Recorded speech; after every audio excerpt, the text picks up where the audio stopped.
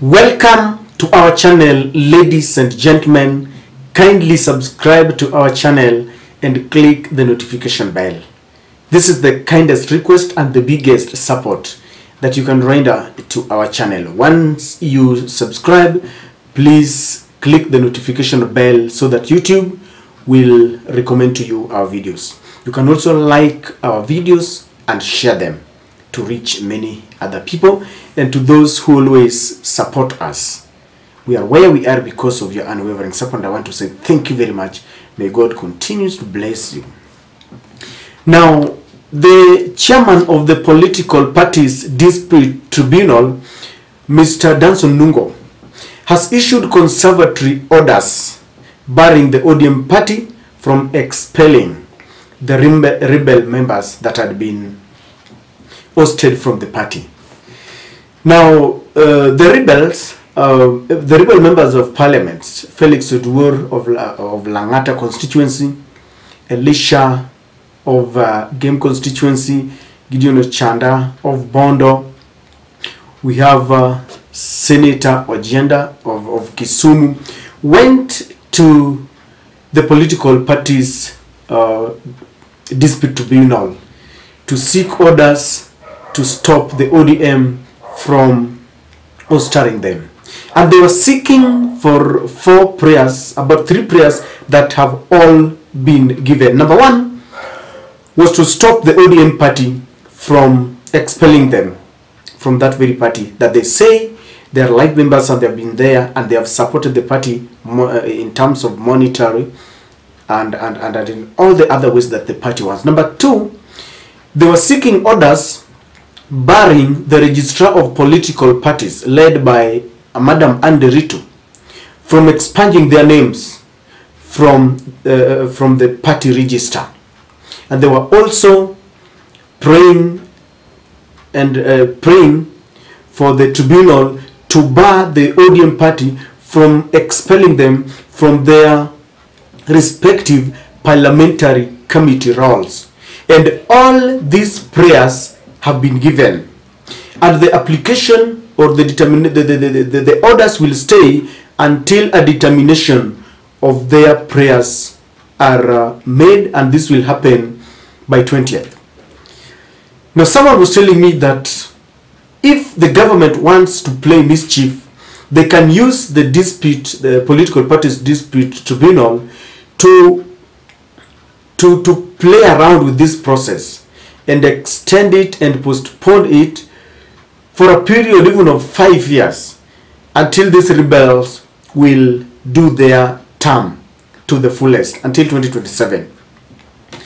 But something that we need to state very categorically is just one. Ladies and gentlemen, for us to clean our parties and grow in terms of our political uh, democracy, we need to have party discipline to prevent to prevent party hopping because we have seen a system an, in, an intention from the government to ensure that we are taken back to the Moi era, to the Nyayo era when we had just one, the, the, the KANU kama chama cha baba na mama.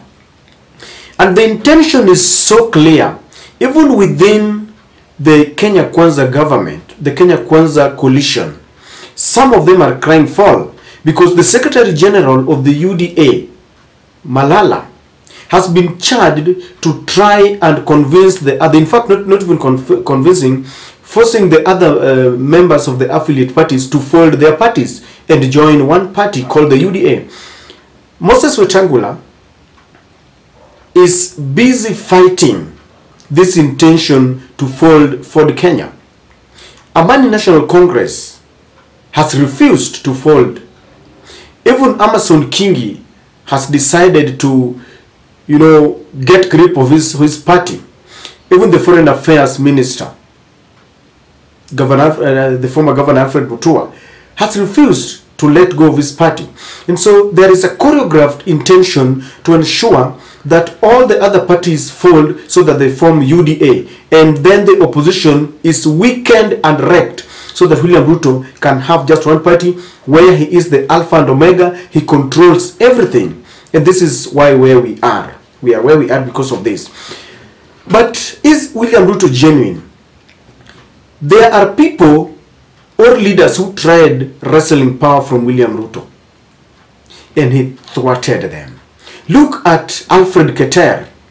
He's no more. He's one person who tried to wrestle power. He wanted to, to, to champion his own cause from the Rift Valley when William Ruto wanted to become the ultimate kingpin. He's no more. Gideon Moi was frustrated until he coiled his tail. They are now working together and is very quiet. The KANU has been annihilated.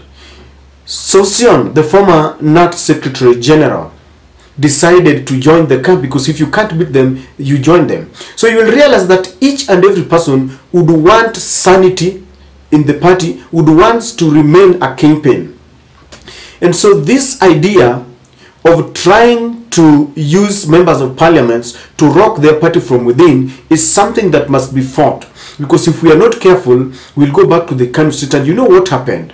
When you have one party, power will get into your mind and you will not want anybody to question you. And that is what led to detention without trial and you know merciless killings everywhere because once you are a kingpin once you are heading a political party you might not even want anybody to question you and then when you are heading and you are the leader of one party you take away the powers of other leaders so that they cannot negotiate because we have realized that uh, we, we, we play tribal politics so that maybe Mudavadi can only sit on a table of, of negotiation maybe prior to an election and he says this is my party. I have these members of parliament. These are the people who i think follow me so that you can form a formidable force.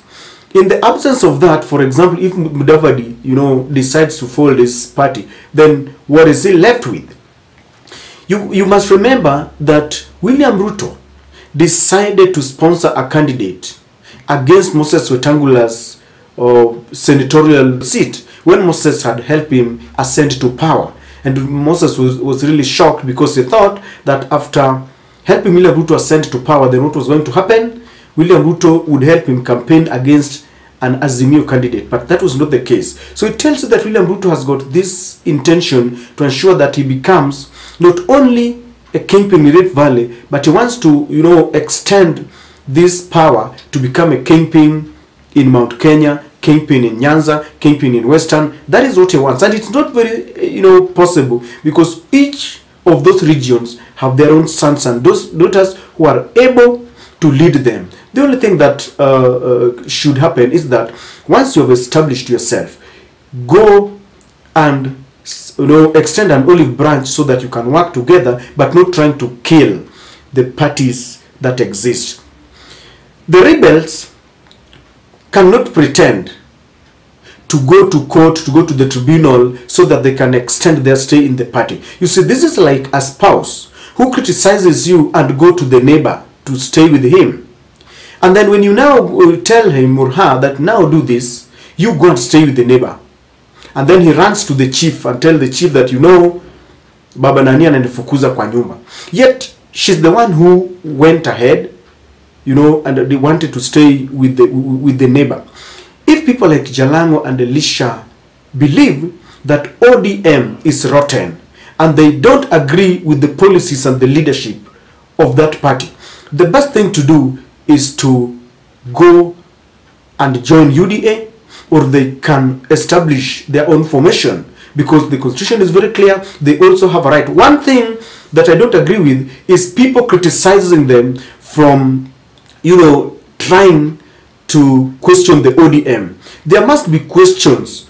When you feel something is not happening the right way you are allowed. But then rocking that party from within is something that i disagree with if they really feel that Raila Amolo Odinga maybe is a dictator and they really feel that they want to work with William Ruto, the door is open. They can cross over officially. No one is forcing them to stay in the, within the ODM. Now they are running to the tribunal, the political parties tribunal, you know, dispute tribunal, and they want to stay by force. Do you know what they fear?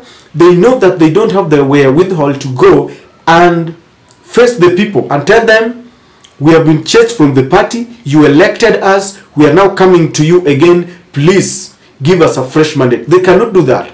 The only person who has done that i stand to be corrected is raila Amolo odinga. When he decided to walked away from that was Ford Kenya when there were there were wrangles between him and a, a very fierce altercation in Thika when bullets were fired and tear gas.